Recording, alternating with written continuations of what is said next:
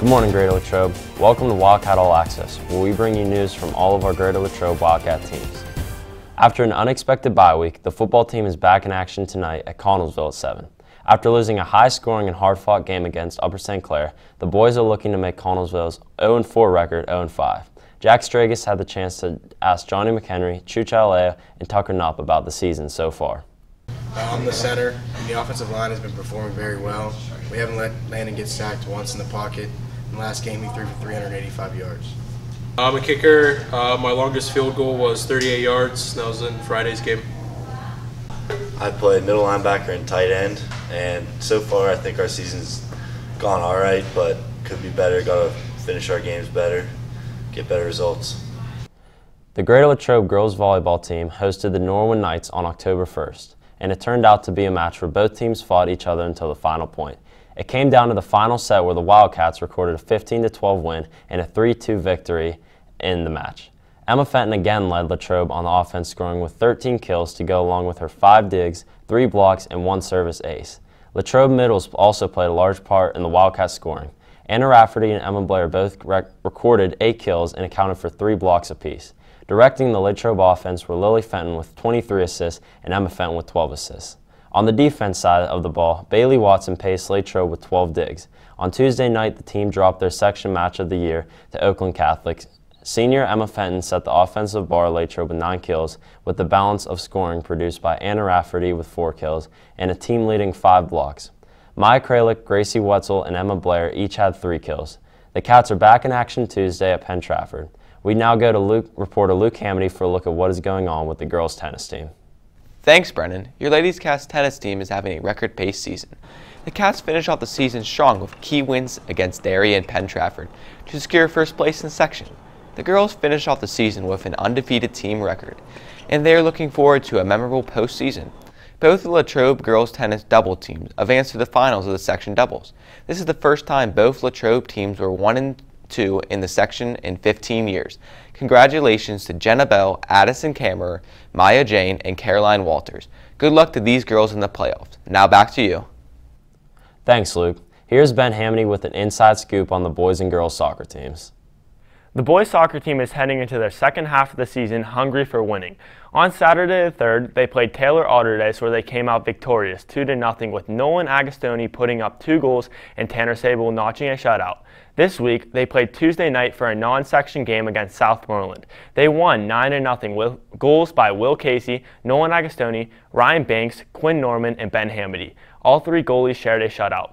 The girls soccer team had a game last Thursday, October 1st against Norwin and suffered a tough loss 5 to 1. They played Allderdice on Monday, October 5th and went home with a 5 to 0 win. Lauren Davis had a chance to talk to the captains and coaches about how they feel about the season so far and what their hopes are for the remainder of it.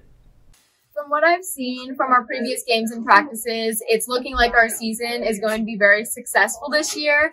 I agree with HK. A lot of our team is like younger, so them coming up, improving our team as a unit, and we're just becoming better as the season goes by.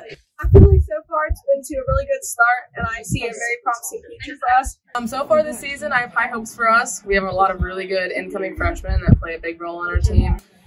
So this season, we got a, a big influx of freshmen that are going to look to make an immediate impact uh, in our dynamics, as well as we have a good amount of returning starters. Uh, so between our new fresh energy and our experience, we're going to look to um, find our new identity as a strong, powerful unit and um, look to really push the boundaries in our section. We had another shakeup this year. Um, and our section always presents a good challenge. My hope is to obviously make the playoffs because every time my team steps out on the pitch, we give 200%. For my hopes and goals for the season, I'm hoping that we make it to playoffs, but who doesn't hope that? So. One of our goals is to make it to playoffs. My goal for the season is to get a better record than last year and make it to playoffs.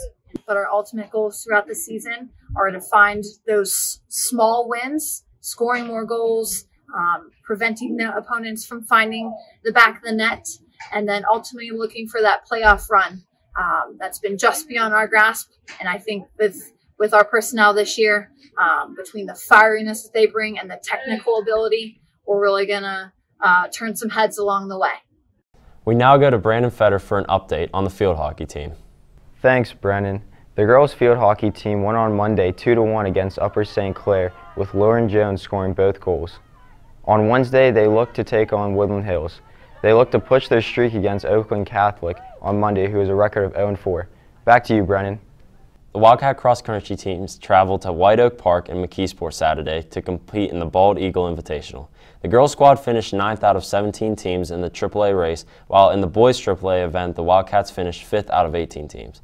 Clara Herr earned a top 25 award after breaking the 20 minute barrier with a time of 19 minutes and 55 seconds, which was good for the 15th place. The boys were led by a potent 1 2 punch of Dante Frescura and Drew Kozic, who each shattered the 17 minute barrier. Their 10th and 11th place finishes earned the boys both boys awards. The teams hosted Greensburg Salem and Penn Trafford in the final section contest of the season on Tuesday afternoon. The girls team defeated both teams while the boys split their matchups, defeating the Warriors but falling to the Golden Lions. Clara Herr won the girls' race, completing the course in 20 minutes and 53 seconds. Lexi Planinsek followed with Aubrey, Aubrey Cable, McKenna Skattel, and Hayden Kranick scoring for the Lady Cats. The boys were paced by Dante Frescura, who ran third overall while running his best time ever on the home course, clocking in at 17 minutes and 23 seconds. Joseph Hill, Matt McCreary, David N., and Cohen Fulton rounded out the scoring. The Wildcats traveled to the Legends meet at the Trumbull County Fairgrounds on Saturday and return to local action October 15th for the county championships at Westmoreland College. Reporter Addison Lemon spoke to some of the runners and Coach Simpson. Season, we have some great new freshmen and it makes a solid team overall. I'm sad to say that this will be my last year, but I think that this will be a good one to end on. Um, I'm just glad that we are able to have a season with everything going on. Um, the team is really like my family, and I'm sad that this is my last year. I think we've gotten a lot closer as a team, especially with the circumstances we're under. Uh, I feel like we've gotten a lot closer at the meets and taking advantage of the time we have together while we have it. I'm proud of a lot of the young guys. We have a lot of good freshmen, sophomores, that uh, really stepped up whenever uh, times got really hard for us, whenever we didn't know if we would have a season. They're, they're a good group of people. They're sometimes kind of screwy, but generally cross country are good, good kids and I like working with them. The boys and girls cross country team has been working very hard this year and has shown a lot of improvement. They have both been doing really well at their meets and the freshmen are showing a lot of potential. In other sports news, the Hall of Fame is a new and very exciting project underway for the boys basketball team. Along with a renovation of their team room, the Hall of Fame is going to consist of pictures along the wall of every team to ever win the section title for basketball for Latrobe. It is going to be a great source of motivation for the team since they will get to walk through it before every practice and game. Thanks for joining us for the Wildcat All Access. We will see you next week. Let's go Cats!